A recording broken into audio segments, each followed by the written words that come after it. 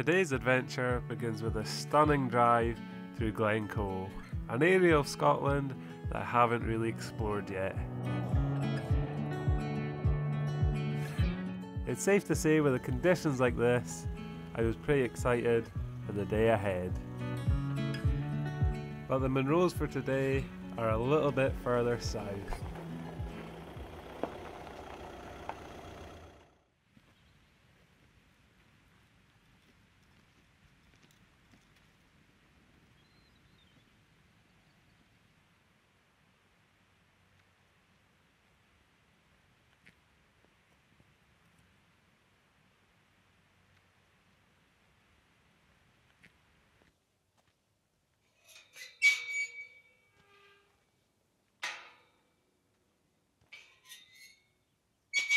Hi guys, welcome to another video. What a stunning morning I've had with that drive through Glencoe. That's the first time I've been through there and the views were incredible. I had to stop and take some photos and videos. That gets me really excited for tackling the Munros in that area. Today though, I'm doing two Munros from Dalmally and the reason that I'm here is that I've got a huge patch on my Munro map that I haven't done and it's like the southwest area. So today's the day that I make a start on them. And the first Munro for me today is up there. So I'm really excited to get to the top and see what the views are like up there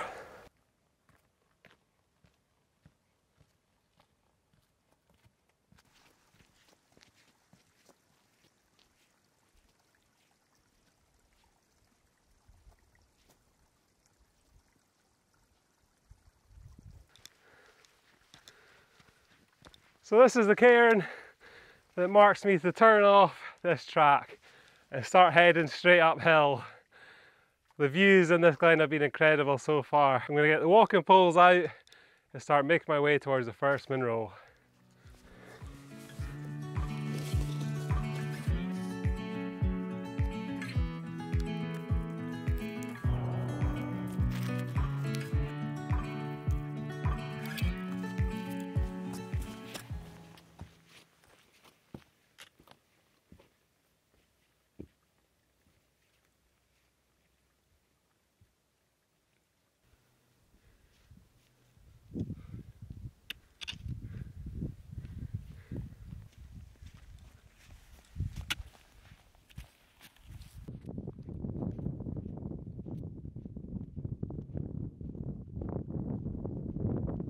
So I've made it up onto the first part of today's Munro and that was a bit of a relentless ascent up there.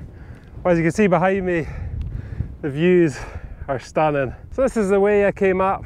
I came up this path here and once I go to this Munro that's behind me, I'll make my way to the second one over here. The winds have picked up ever so slightly. I'm kind of glad because it was absolutely sweltering coming up there. So yeah, just about there now.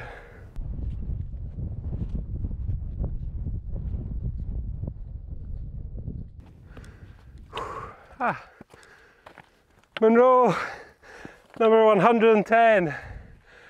The views up here are absolutely breathtaking. And this Munro is called Beinn a'Chochuill and is 980 metres high. And it means hill of the shell. I think you'll agree with me that the view behind is absolutely stunning. I know that Ben Cruachan's there behind me, but I'm not too sure of the other Munros in this area as this is my first time here. So I'm going to shut up and I'll show you some of these views.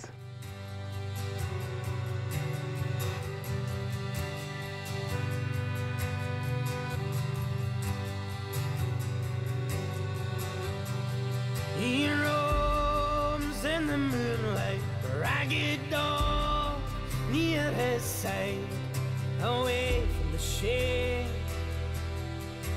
The and the eagles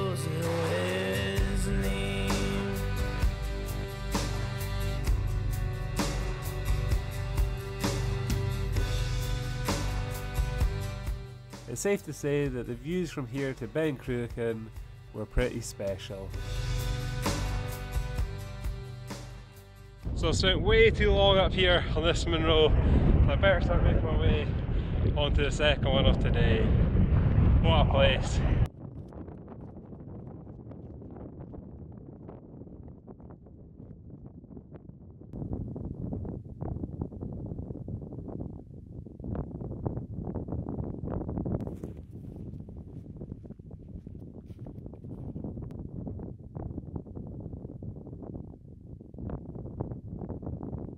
So just making my way down towards the Bealach, towards the second Munro, and it looks pretty steep. What a day I've had so far. The views up there were something else, and it feels like spring has finally sprung. But I'm not going to get my hopes up too much yet, as I know there's still time for snow well into April and May. So I'll pick you up and I'll get a bit closer to the top of the next Munro.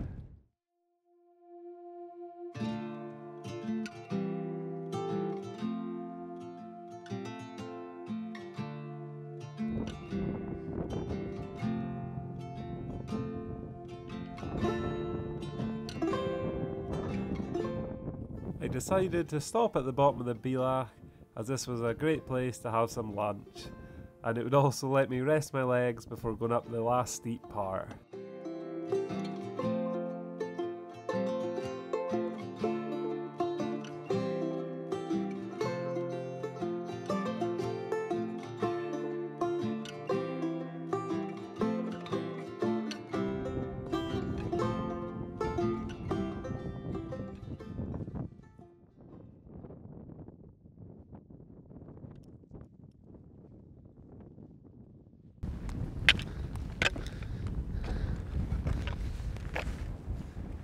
And there we have it, Munro 111. Beinn Eunaich, this one's called, and it's 969 metres high. A little bit less than the one before it, and it means the Fowling Hill. It didn't take long at all to get to this Munro from the other one. I think it was just under an hour, and it wasn't as steep as it looks from over there. It never is. And these two Munros make for a relatively short day. I think it's about eight miles and should take between five and six hours, which is not too bad these days. But yeah, look at these views. Fantastic views in every direction today. It's a little bit hazy, but I can't complain.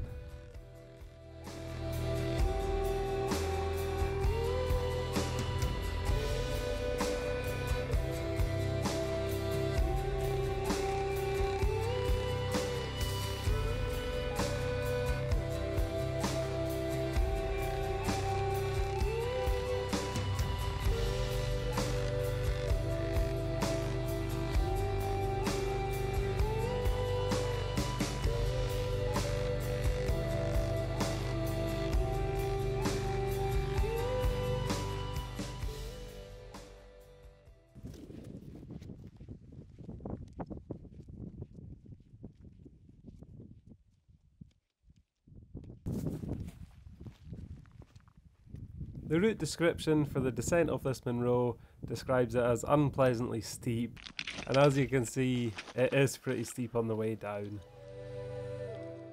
So that's it for today's video, and I'll rate these two Munros 8.5 out of 10. A fantastic day out. So thank you for making it this far if you did, and I hope you'll join me for some more Munros in the next one.